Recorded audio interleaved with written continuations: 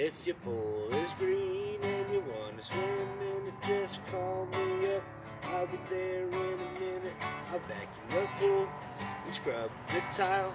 I'll even wash the filter out once in a while. My name is Chuck and the number's coming up, so grab your pen. But the number's not tough, it's 7108904.